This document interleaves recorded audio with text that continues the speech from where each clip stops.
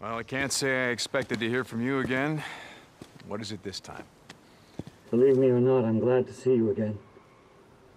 That night at Wizard Island didn't seem to go well. What can I do for you, O'Brian? I'm here to warn you. Warn me, warn me about what? You remember? I told you the infected were evolving. Right, yeah, freak's a freak. What the hell do I care?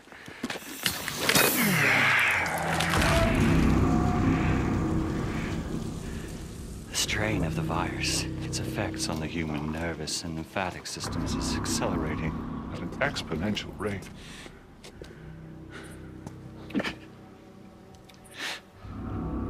They knew all along, of course, that it was happening.